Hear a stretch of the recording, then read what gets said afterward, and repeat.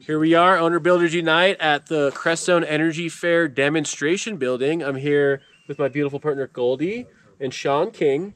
And Shawn King is the lead of this uh, building. And Goldie is in charge of the Crestone ongoing education series. Perfect. And I just want to introduce Shawn here. He's done a lot for helping us not have building codes in Saguache County for the time being. And he's doing stuff for the state with uh, composting totes, working on preserving our alternative building community here in Crestone. All right, um, this building was um, designed and intended to provide opportunities for people to learn about alternative building materials, alternative building approaches, um, and the concept of the design was to have a building that would be basically post and beam, meaning that the structure would be primarily supported um, by um, posts and um, um, the roof structure load would go on that. And then we would have these panels where different um, building styles could be, or building techniques could be demonstrated hands-on so people get a chance to do it themselves and really get close to the materials. Um, and that we would have these um, little demonstration um, windows that would allow people to look and in some cases actually touch and contact the materials in this site, which is a public site, um, is very generously shared with um, this endeavor um, by uh, Ben and Michelle of, um, of the Elephant Cloud. so that's the general concept. Uh, next stages are to get a roof up so that the wall systems are available to be worked on, regardless of weather, and also so that it looks like a more complete building. Right now, it's it's very it's very much in a pause for the winter, and it's we're just now getting into spring, so things are popping, and there's going to be um, daily or near daily activity here, um, and on both the main structure and on the wall systems.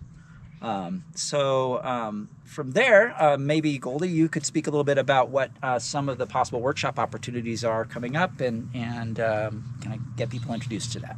Yeah. So there's many opportunities on this structure because we still have the north, east, and west walls to finish.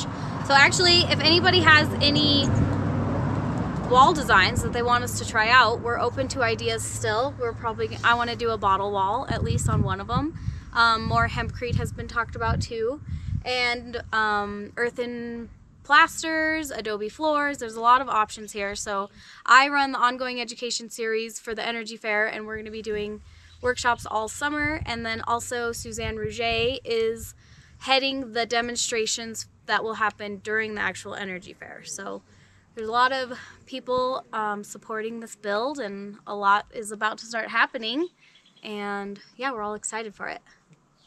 And so this meeting today was just to get deadlines and yeah, we want people in town to be excited about it and support us. So Shawn, what is the next step in the build? The next major step in the build will be to get a roof on this. So we've got plans, we've got lumber, we've got a team coming together.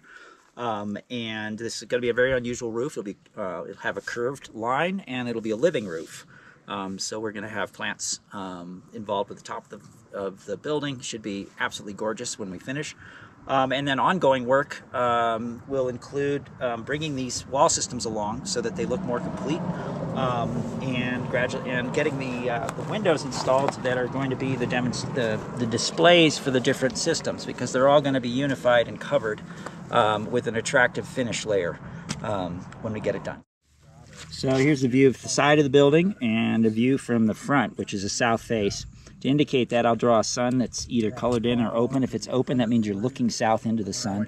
If it's blacked out like that, I'm indicating that you're actually looking north, like you're looking at the back of the sun.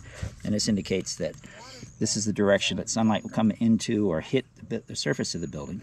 So south is this way.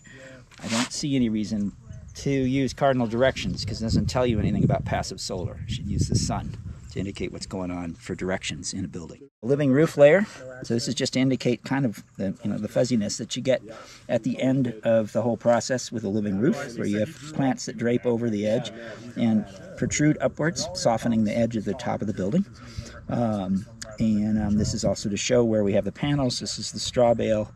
Um, we have, um, let's see, it's just, I should know, uh, straw bale cob, hempcrete, and um, uh, aircrete on the end. Um, and the other thing that's interesting about this building, I think, is that we didn't bother grading the site. So this line is actually a ground line.